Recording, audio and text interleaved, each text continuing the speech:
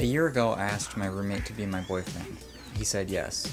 Now on this day every year, not only is it our anniversary, but it's also his birthday. He has this old mattress that used to be like someone's grandma's. It's like a thousand years old. I don't know if you can tell, but It sinks down like so far. So I decided for our Anna birthday I would surprise him with a new mattress. So I find a place and I find the perfect mattress and I place an order. And I'm driving home and suddenly I hit a pothole which I couldn't see because it was full of water. such a loud noise. It was like, bang! Car starts going. Choo.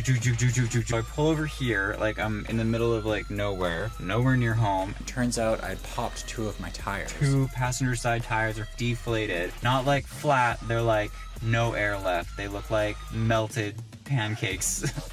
Ah! so I had to get it towed. So the day arrives and the plan is the mattress will be delivered before Taryn gets off work. Hello? Hey, what's up? So they called back about the car and it's gonna be like really expensive to fix it. Really stressed out about it. I don't know how I'm gonna be able to like afford this. I just feel bad about the car. I know that you. I feel so shitty saying this. I know it sucks, but do you think would you mind if your birthday presents waited until after? A bit Yeah, later? That's fine. I don't. I don't mind at all. You don't even have to get me anything. Honestly. I'm sorry, I'm just like really Uh, stressed and I don't know what to do right now. Uh, I under. Honestly, it doesn't bother me at all.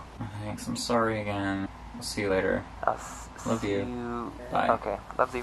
Mattress place calls me and tells me it's been delayed. Now it's going to arrive at 7, which is after Taryn gets home from work. So I call our friend Morgan and I'm like, can you take Taryn to the mall and keep him busy until the mattress gets here? Starting to panic a little bit because I still have to get the mattress set up after it gets here before Taryn gets home. Then the delivery guys call me and tell me that the mattress is now going to be delivered between 8 and 8.30. The mall closes at 9. So now it's 8.30.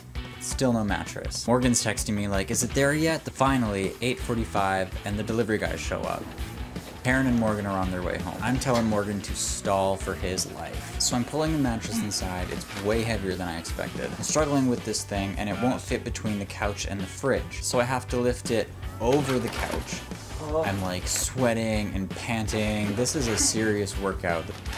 As I'm pulling it into his room, I hear a crash. Well, I broke something. Apparently, I've broken a photo frame. I broke. I broke things. This is fixable. Finally, I get the mattress into his room and onto his bed, just in time for Morgan to tell me that they're in the driveway. Okay, we're almost there. We're almost there. The room is scissors. Oh no, something fell. Oh, something always falls. Oh shit, he's coming home. We gotta go. Gotta go, gotta go, gotta go. I couldn't find a big enough bow for the bed, so I just put a bow on me. And then I hid for the surprise.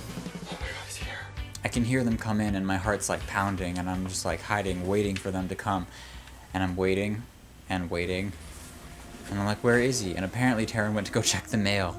I was like, hurry up, get inside.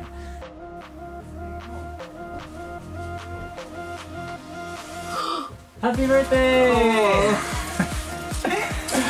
Thanks! Chris, what are you doing? I didn't even think you were home. They got you a mattress. How did you even afford a mattress? I thought you said that you couldn't do anything because of the car. You know I tricked you. But he was actually really surprised, and I'm surprised that he actually didn't catch on, especially after Morgan kept him at the mall for like three hours. Oh, I can't believe it. I'm so amazed. The delivery guys kept delaying, and I was like, Morgan, keep it with the ball. Oh, that's why. Thank you for your help, Morgan. Don't mind. That's three hours. Of I know, they kept delaying it. When Taryn walked in, I think he thought I was a robber. Chris isn't here. Th- There's water on the floor. Someone's in here robbing us right now. I was just like, holy crap. I was like in robbery mode. I should have turned all the lights off and jumped out at you. But I think it was a success. It wasn't too expensive. It wasn't cheap. I, I'm like, I'm not even kidding. I did not expect this at all.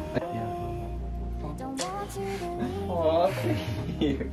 You're so